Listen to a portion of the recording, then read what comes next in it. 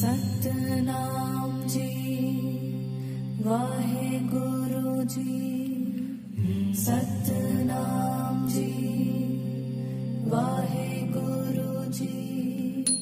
सतनाम जी। लुधियाना के कपड़ा व्यापारियों द्वारा आज एसी मार्केट में गुरु नानक देव जी के 550वें प्रकाश पर्व को धूमधाम से मनाया गया। इस मौके पर व्यापारियों द्वारा सृष्टि के भले की अरदास भी की गई और मार्केट में संगत के लिए लंगर भी लगाया गया।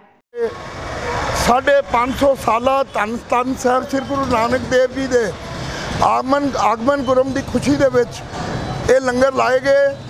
ਗੁਰੂ ਮਹਾਰਾਜ ਦਾ ਧੰਨ ਧੰਨ ਸਾਹਿਬ ਸ੍ਰੀ ਗੁਰੂ ਗ੍ਰੰਥ ਸਾਹਿਬ ਜੀ ਦੇ ਸੁਖਮਨੀ ਸਾਹਿਬ ਦੇ ਪਾਠ ਹੋਏ। ਉਪਰੰਤ ਹਜੂਰੀ ਰਾਗੀ ਦਰਬਾਰ ਸਾਹਿਬ ਦੇ ਕੀਰਤਨ ਕੀਤਾ।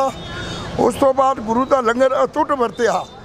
ਇਹ ਸਰਦਾਰ ਗੁਰਚਰਨ ਸਿੰਘ ਜੀ ਤਮਨ ਅਤੇ ਸਮੂਹ ਮੈਂਬਰ ਕਮੇਟੀ ਨੇ ਏਸੀ ਮਾਰਕੀਟ ਵੱਲੋਂ ਇਹ ਸਮੂਹ ਦੁਕਾਨਦਾਰਾਂ ਭਰਾਵਾਂ ਵੱਲੋਂ ਕੀਤਾ ਗਿਆ ਔਰ ਵਾਹਿਗੁਰੂ ਅੱਗੇ ਅਸੀਂ ਅਰਦਾਸ ਕਰਦੇ ਹਾਂ ਕਿ ਸੱਚੇ ਪਾਤਸ਼ਾਹ ਇਹ ਚੜ੍ਹਦੀਆਂ ਕਲਾਂ ਦੇ ਵਿੱਚ ਕਰਾਈ ਤੇ ਅੱਗੋਂ ਵੀ ਅਸੀਂ ਇਹ ਗੁਰਪੁਰਬ ਮਨਾ ਸਕੀਏ।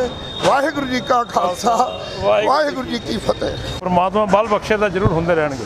ਸਭ ਦੇ ਭਲੇ ਲਈ ਕੀਤੀ ਗਈ ਹੈ ਪਰਮਾਤਮਾ, ਸਭ ਦਾ ਚੜ੍ਹਦੀਆਂ ਕਲਾਂ ਰੱਖੇ, ਕਾਰੋਬਾਰ 'ਚ ਵਾਧਾ ਕਰੇ, ਪਰਿਵਾਰਕ ਸੁੱਖ ਮਿਲੇ, ਸਭ ਨੂੰ